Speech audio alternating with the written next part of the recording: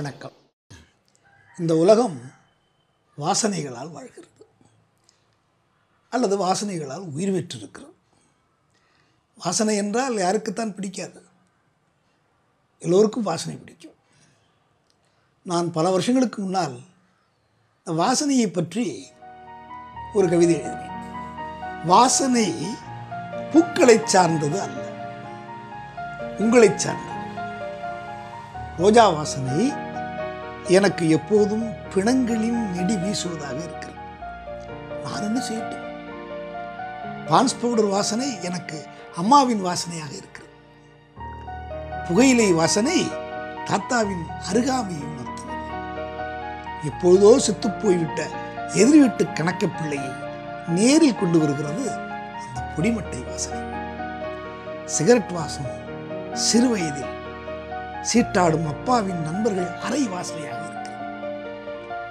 மல்லிகை வாசனையை விடவும் மாவு மிஷினில் மிளகாய் அரைக்கும் வாசனை எனக்கு மிகவும் பிடிக்கும். வாசனை என்பது ஜென்மாந்தரங்களாக வந்து கொண்டிருக்கிறது. புதிய பாடப்புத்தகங்களையும் நோட்டு புத்தகங்களையும் வாங்கியவுடன் முகர்ந்து பார்க்காத குழந்தைகள் உண்டா? அம்மா சமைக்கும் போது மட்டுமே சமையல் அறையிலிருந்து வாசனை எவ்வளவு முயன்றாலும் என்னால் வரவழைக்க முடியாது.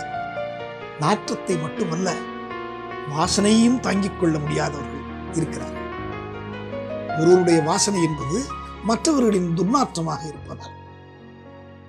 பெட்டிக்குள் மடித்து வைத்த அப்பாவின் தோய்த்த கதர்ச்சட்டைக்குள் பத்திரமாக இருக்கிறது அவர் வாசனை. நினைவுகள் மட்டும் இல்லை என்றால் நீங்கள் எந்த வாசனையும் நுகர முடியாது. வாசனை பூக்களைச் சார்ந்ததல்ல உங்களை சார்ந்தது. இந்த கவிதையை நான் எழுதி முடித்த பிறகு என் நண்பர் ஒருவர். இந்த வாசனை பூக்களை சார்ந்ததல்ல உங்களை சார்ந்தது என்ற அந்த வரிகளை அவர் ஆட்சேபித்தார். அது எப்படி? பூக்களுக்கல்லவா வாசனை உண்டு? உங்களுக்கு இருக்காதே உங்களுக்கு எப்படி வாசனை வர முடியும் தனியாகன்னு கேட்டார். இது ஒரு நக்கீரத்தனமான கேள்விதான் அந்த காலத்திலேருந்து கேட்கப்பட்ட கேள்வி. ஆனால் இதற்கு திருஷ்டாந்தமாக அல்லது பதிலாக நான் ஒரு விஷயத்தை சொன்னார். ரொம்ப சின்ன வயசில் பள்ளிக்கூடத்தில் படிக்கும்போது எங்களுக்கு ஒரு ஓவிய ஆசிரியர் இருந்தார். இப்போதெல்லாம் பள்ளிக்கூடத்தில் ஓவிய ஆசிரியர்களே இருக்கிறார்களா என்று தெரியவில்லை. பள்ளிக்கூடங்களே இல்லையே. அதனால் அந்த வாத்தியார் என்ன பண்ணார்? ஒரு தடவை ஒரு தாளில் வந்து ஒரு ரோஜாப்பூவோட படத்தை வரைஞ்சி எங்கள்கிட்ட எல்லாம் கொடுத்து பார்க்க சொன்னார். ரொம்ப தத்ரூபமான படம். அப்படியே அசலாக ரோஜாப்பூ அப்படியே செடியிலேருந்து படித்து பறிச்சுட்டு வந்து அதில் ஒட்ட வச்ச மாதிரி அதோடு நின்றுந்தா பரவாயில்ல. அது மேலே ஒரு வரி சொன்னார். இதெல்லாம் மோந்து பாருங்கடா தம்பிகளான்னார். உடனே அதை முகந்து பார்த்தோம். பார்த்தா நிஜமாகவே ரோஜா பூ வாசனை வீசுது எங்களால் நம்ப முடியல. இது எப்படி சார்? சாதாரண காய் நீ சென்ட்டுக்கிட்டு தடவுனீங்களா? அதெல்லாம் ஒன்றும் சென்டர்லாம் தடவலை. இந்த ரோஜா வாசனை என்பது உங்களிடமிருந்து வருகிறது. உங்கள் மனதில் ஏற்கனவே இருக்கிறது. தத்ரூபமான எந்த ஒரு விஷயத்தை பார்த்த பிறகு நீங்கள் அந்த விஷயத்தை உங்கள் மனம் தானாகவே கற்பனை செய்து கொள்கிறது அந்த மனத்தை அந்த நறுமணத்தை வாசனை. அப்படின்னு சொன்ன பொழுது நான் இந்த விளக்கத்தை அவருக்கு சொன்னேன்.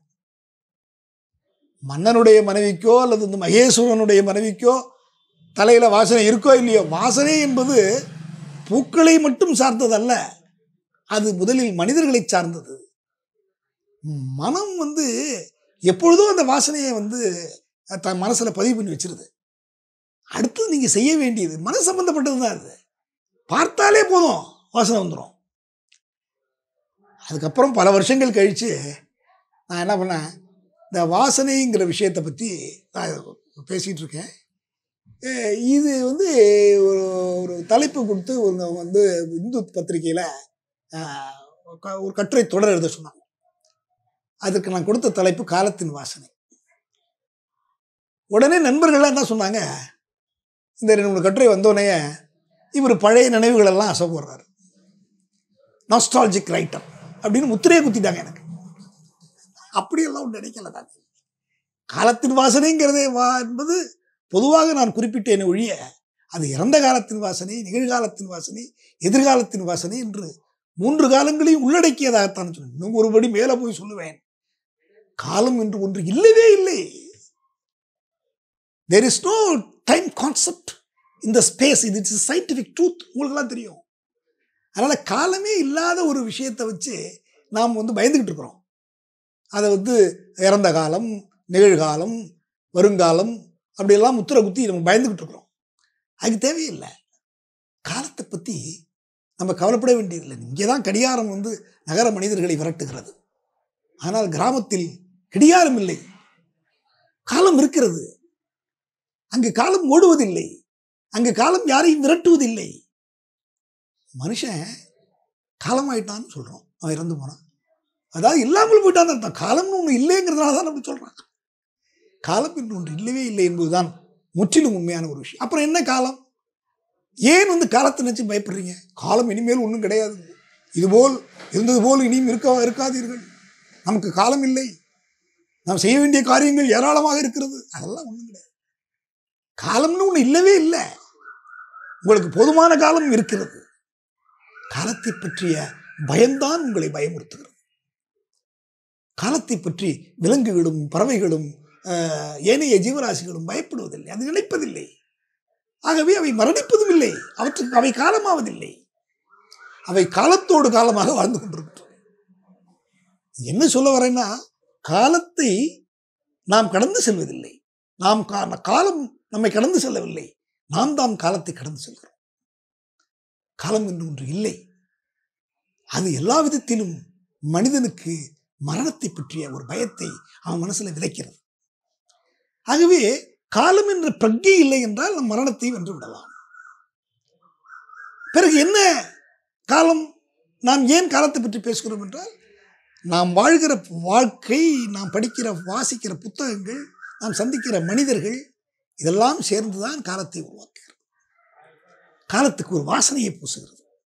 காலத்தை கூறு போட்டு நிகழ்காலம் மறந்த காலம் வருங்காலம் இப்படியெல்லாம் சொல்லி பயப்படாமல் அதுக்கு ஒரு வாசனையை பூசி வாழ்க்கையை அனுபவிக்கலாம் என்று தோன்றுகிறது. எவ்வளோ வார்த்தைகள் சொல்லப்பட்டு விட்டன. எவ்வளோ புத்தகங்கள் எழுதப்பட்டு விட்டன. ஆனால் நாம் பேச வேண்டும். இந்த காலத்தை பற்றி நான் பேசப்போகிறேன் உங்களோடு.